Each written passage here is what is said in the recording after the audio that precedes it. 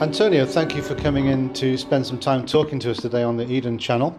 Uh, you're the president of Eden, but for those who don't know what Eden is all about, perhaps you could say, in a nutshell, what is the Eden organization?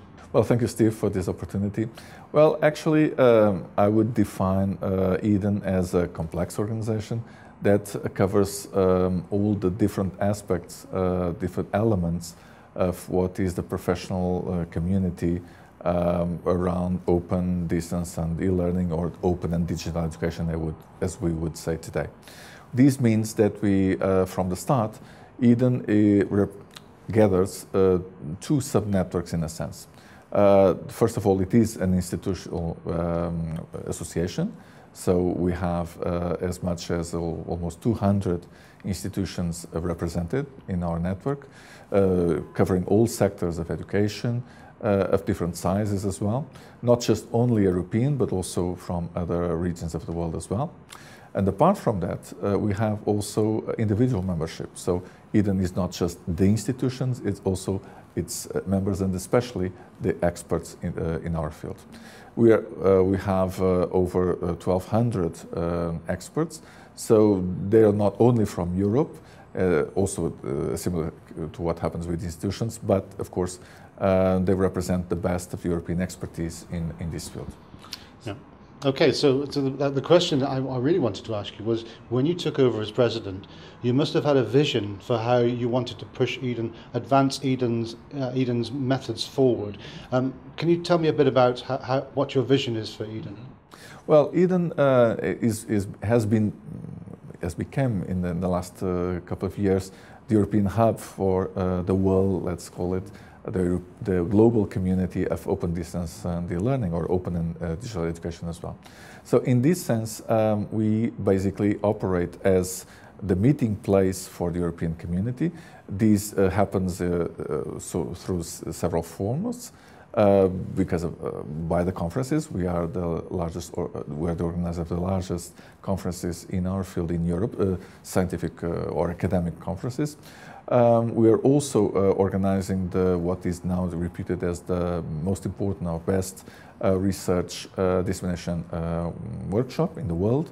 and apart from that, the conferences will also uh, support the, the, research community, support the practitioners uh, Uh, in their, in their uh, activity by, by giving them access to information, by supporting them um, also um, supporting governments and the, and the policy and decision makers regarding regulation and so on. So we try to cover all of these uh, aspects of, of, the, um, of, the, field. In that sense, my vision is, of course, to um, um, transform, e or had been to transform Eden into a comprehensive organization as such, but also um, a representative of the European legacy and the European expertise in this field. So basically uh, developing all the different aspects involved and uh, all the different kinds of expertises and the culture, learning cultures and, uh, that are involved.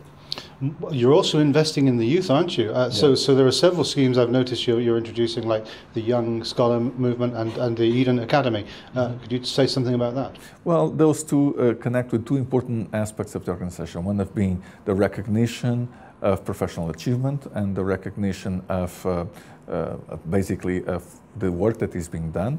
We uh, usually um, recognize not just uh, the quality of research, but also um, the, the quality and impact of uh, the life achievements of our, of our um, experts. Uh, but we also need to open up the community to the newcomers. Uh, as we all know, uh, our field is expanding dramatically and uh, in a very um, fast pace. And a lot of new players and of new actors are coming in. And we need to embrace them uh, in order to share with them the, the values, the knowledge, uh, the, um, the, expertise, the experience of this legacy, that this European expertise and legacy that I uh, was just, ref just referring to.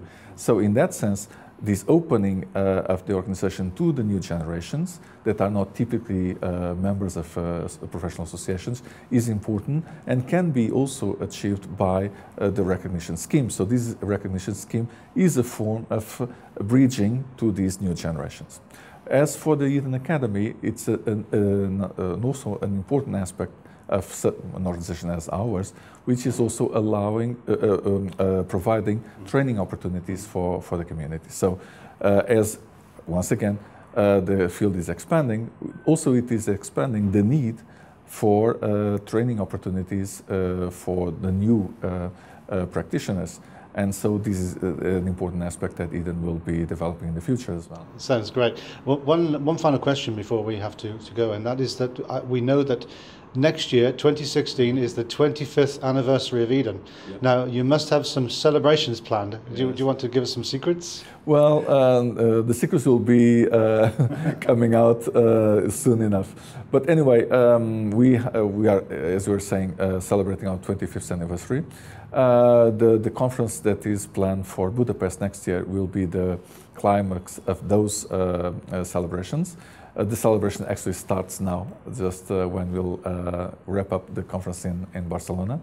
And there will be a special um, uh, committee uh, in Eden that is already preparing um, this program of celebrations. What we want, basically, I won't get into much details because they will be uh, available soon. What I would share at this moment is the idea behind it.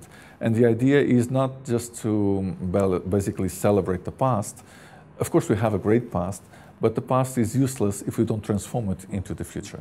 Um, so what we're trying to do with these celebrations is to um, uh, to recognize and to acknowledge the best of our of our past and present, and to link this past, this uh, um, the great uh, colleagues that actually built the field in which is our field of practice today, and to bridge them with the younger generations and the new players that are just starting. So uh, our celebrations will be a kind of a special kind of one, uh, which is basically trying to gather different kinds of generations in basically uh, rebuilding the future.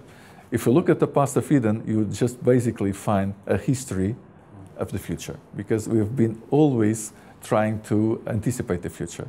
And so uh, from, the, from the first uh, years of Eden, it always has been like that. And so what we're going to do now is to try to uh, bridge the history of the future from the past with the actual future that is being built now. It sounds fantastic. Uh, here's to a bright future for Eden. Antonio, thank you very much. Oh, thank you very much, Steve.